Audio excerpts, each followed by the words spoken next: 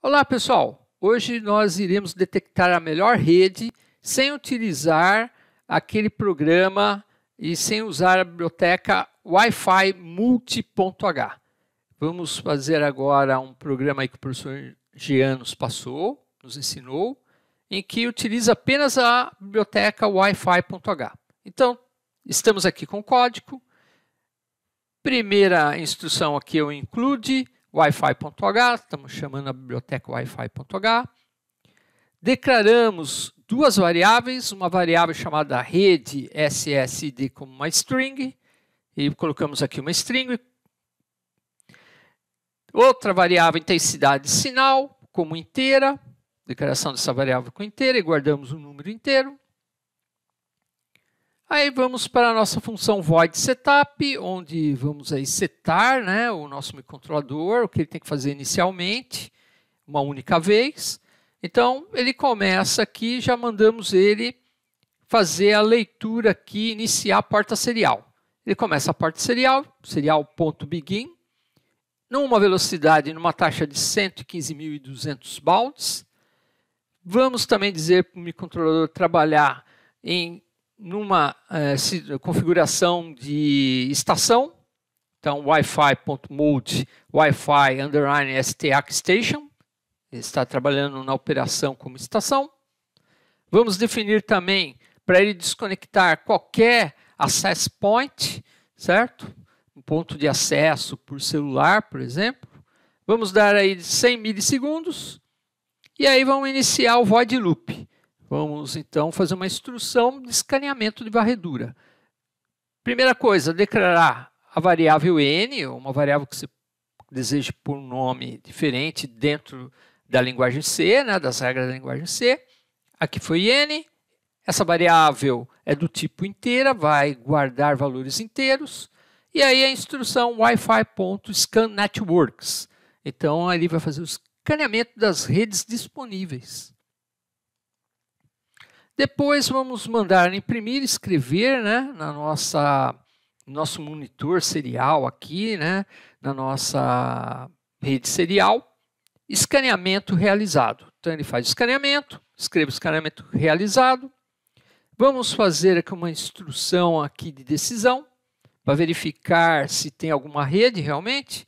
Se n for igual a zero, é sinal que eu não tenho nenhuma rede presente no local. Então, vou mandar escrever serial.println, ln é uma nova linha, ele escreve pula uma linha. Vamos escrever nenhuma rede encontrada, pula uma linha.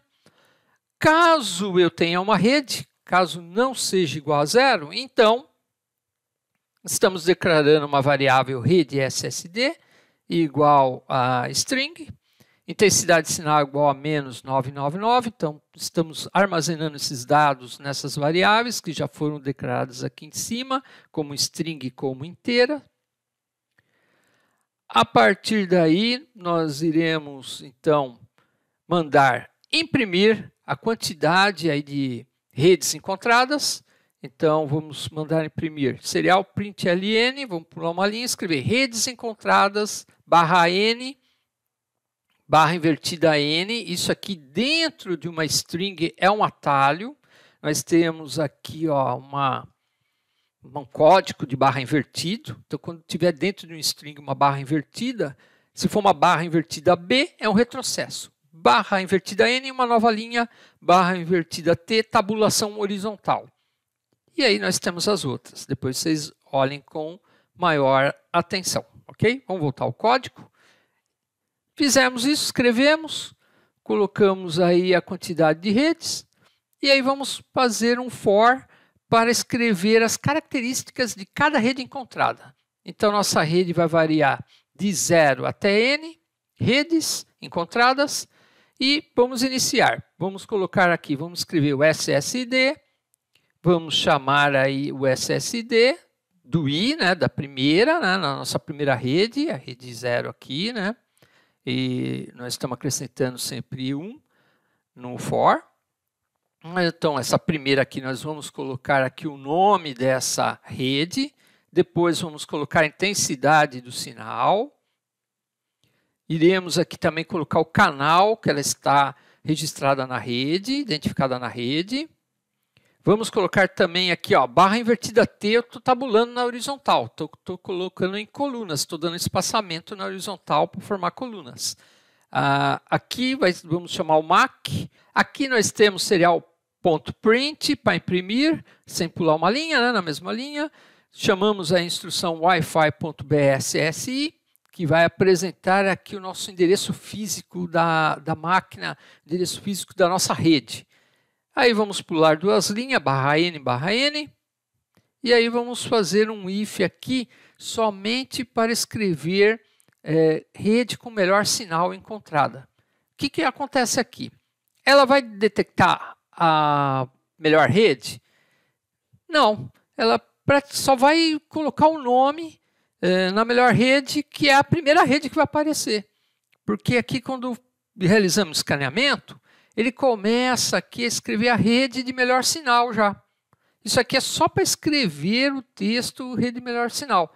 A primeira que chegar aqui, o que vai acontecer? Vamos supor aqui a rede está em torno de menos 53, menos 60. A melhor rede que é a nossa rede aqui de casa. Então chega aqui menos 60. Menos 60 é menor do que intensidade sinal intensidade de sinal está aqui, menos 9.900. Essa instrução ABS é para transformar o número aqui no valor absoluto, em módulo. Então eu não vou ter valor negativo. Se eu tiver aqui menos 60, ele vai virar 60. Aqui já é menos 9.999, tá ok? Está aqui, né? Eu vou transformar no valor absoluto de 9.999. A primeira rede chega aqui, a de maior intensidade, que é de casa. 60 é menor que 9.999? É. Então, torne essa variável, né, guarde esse valor 60 na variável intensidade, então isso aqui passa a ser 60. Aí eu vou pegar aqui na rede SSD, eu vou guardar aqui a minha rede. Aí eu vou mandar escrever rede com melhor sinal. Vou chamar a rede guardada, que é a nossa aqui de residencial de 60 dBm. Então, ela vai imprimir aqui, então, o nome da rede, depois o sinal, a intensidade do sinal. Iremos dar aí um tempo de 10 milissegundos e vamos retornar ao laço for novamente. Ele vai pegar a próxima rede, próximo sinal. Esse próximo sinal não é o melhor. Vamos dizer que está com 72. 72 é menor que 60, que é o valor armazenado da nossa rede aqui doméstica? Não. Então ele volta de novo aqui para o for, escreve a próxima rede. A próxima rede tem sinal menor? Não. Vai escrever aqui as próximas redes. Completado o laço for, ele vai fazer um tracejado, vai dar aqui 10 mil milissegundos, um tempo de atraso de 10 mil milissegundos, na verdade são 10 segundos, e aí vai retornar de novo iniciando a varredura, lendo tudo novamente. Vamos aqui, então, carregar o nosso SP32 com este código e vamos verificar o que acontece. E agora ele está pedindo para conectar. Vamos pressionar, então, o botão boot e iniciamos aí a gravação do programa. Vamos agora no monitor serial observar o comportamento da nossa do escaneamento. Vejam que ele já começou né, a escanear. Escaneamento realizado, nove redes encontradas. Está é, tá aqui o primeiro sinal, o sinal de maior intensidade, que tem a menor, a menor queda aqui, a menor atenuação. Então, menos 57, é um sinal bem melhor que menos 69. Anotou o canal, Está aqui o MAC, endereço físico da, do nosso módulo aqui, do modem aqui do Wi-Fi, tá ok? E assim com os outros demais sinais que estão aqui por, próximo de casa. Tem vários sinais aqui de rede, tá ok? Pessoal, se vocês tiverem dúvida em relação a algum código, vocês podem também procurar aqui, ó, no site aqui do Arduino, que ele tem aqui a descrição aqui da linguagem C utilizada, dos códigos, das funções, ó, funções, digital read, digital write, temos os tipos de entradas, variáveis, as estruturas, loop, setup, tá ok? Bom, pessoal, é isso que tínhamos por hoje. Até o próximo vídeo. Até mais.